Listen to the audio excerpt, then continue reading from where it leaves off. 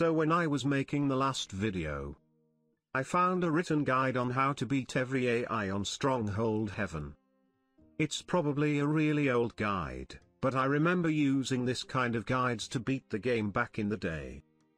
I'm not exactly sure how old this is, but I'm assuming these are all from when the Extreme Edition was released. But without any further ado, let's see what they have to say. First of all, there's the description of every lord, and I'm pretty sure these are all from the game's original manual. Along with their nicknames, their unit composition and the difficulty. But the most interesting part is gonna be the strategy guides. Pathetic in all regards. Don't use his paths though, break down the walls by his keep. I'm not sure what it means by not using his paths, but let's continue. To take on the rat, build anything but archers and spearmen. I suggest swordsman. No matter how well he's doing, 24 of them will wipe him out. I mean sure, swordsmen are definitely unstoppable against him. But I don't get the archer part. Archers are literally the best units against rat, so you definitely should make a lot of them against him. But on to the next guide. I don't remember Snake ever making fire throwers. And slingers are not mentioned here either. But anyway. The snake's castle is very vulnerable to fire.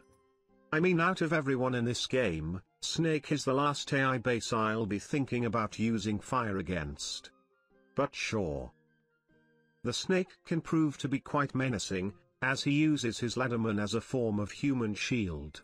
When he charges in, try to have some pitch ready for them. If unprepared it can be quite overwhelming and disastrous. To kill the snake, I recommend using kata- Okay wait wait wait. Dude, we're talking about Snake. What's this wall of text all about? Just make archers and be done with it. Who the hell even uses fire against light units? Let's move on to the pig. Non-crenellated, however the two towers of crossbows can prove annoying. Treb them out before a direct assault. Okay actual good advice here. I like it. Tactics, another fairly easy kill. However you must watch his crossbowmen. Treb out his walls, then move in with crossbows to take out any remaining crossbowmen. Have a garrison of pikemen and or swordsmen handy to take out the macemen. Move in for the kill. Fire isn't effective here, you'll burn one or two things down, but not before he sends in crossbows to take out your ballista. Once again it might be trying too hard. You don't really want to use swordsmen against him though because armored units are the worst thing you can make against crossbowmen. But honestly this was a solid guide. Let's see what's happening on Wolf's guide. To defend against the wolf, be sure to have crossbowmen standing guard. Archers will help against the pikemen, but will do you no good against his swordsman. Killing wolf can prove to be a challenge as he kills his swordsman. I recommend his castle and his keep. This will take out any of his fire troops. Another tactic will use assault the castle with lots of crossbowmen after his manuals have been taken care of. Even destroy his army by to the rear of his castle, which is enough fire to defend. Another bonus by fighting his close kill. On average his troops will be minus 2, I sign for you. Watch out though, as he tends to use pitch. I mean even though this one was quite long, I still think it's not complete. But it certainly does make valid points. I mean each one of the wolf's castle require their own separate guide. So I won't nitpick on this one. Now let's see Saladin. So it basically says kill the mangonels and ballistas. And while you're on that, burn down his castle with fire ballistas or slaves.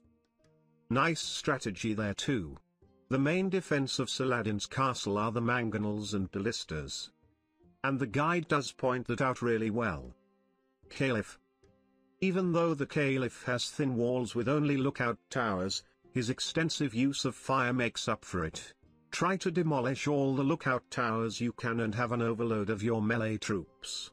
Fire throwers, pitch, and oil must be avoided as much as possible.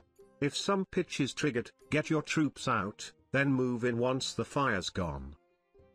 And as for defense strategy, several archers, tilde 10, guarding quarries and or farms will do in the beginning, because the Caliph will send slaves to torch your quarries or farms, depending if you have quarries or not.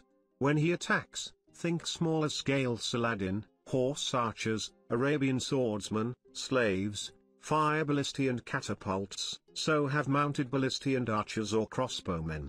Add in some supporting fire ballistae at the front wall of your castle, this'll help a lot.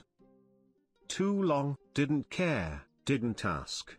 But honestly the guarding of your quarry's advice was nice. Everything else was too much. There's also an attack strategy on this one. Which is cool and all, but once again it tells you to use swordsman against fire. Please do not use swordsman against fire. I mean the Sultan isn't really worth reading, he didn't even bother to say a lot about him either. Let's move on to Richard instead. Concentric design, very hard to get into, and very productive. No. Fake news. Richard's castle is way too easy honestly. Compared to his attack power, his defense doesn't really stay up to par. Tactics. It does mention his fear factor, and he advises you to get the mangonels and ballistas first. I'm not really sure why this one had to be this dramatic though. Like it's fine dude, just move a group of horse archers near his castle, and everything is gonna be fine. The Frederick. Frederick's castle is arguably one of the best AI castles in the game. It is large, well defended, and moat surrounded.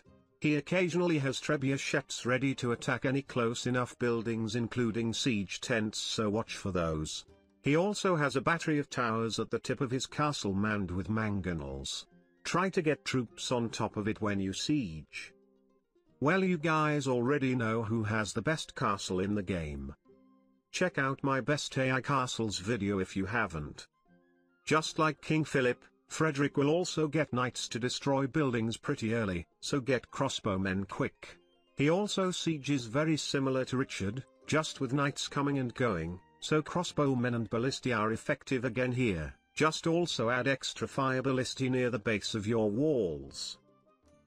Pretty good advice, except that this AI is completely broken and doesn't even play the game. Attack strategy. Make sure to treb out Frederick's battery of towers, or get crossbowmen on top of them, and just fire on him. However, this is unnecessary, and you can just have troops fill in his moat, and get through his walls. And watch out for Frederick's killing pits, which are scattered around his castle in apparently random places. The pits are roughly marked on the map in green dots, but expect them to be anywhere. Well once again. Frederick was always AFK in my experience, and never had any troops guarding his castle. It actually calls Philip even weaker than Rat. And does mention the night attacks too. So Philip's guide is perfect.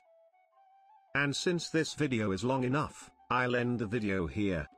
I actually had fun reading through these. By the way this video isn't made to make fun of the authors, obviously this is from a long time ago. But it was pretty cool to read. Hope you guys enjoyed it. And now you probably know where I steal ideas from.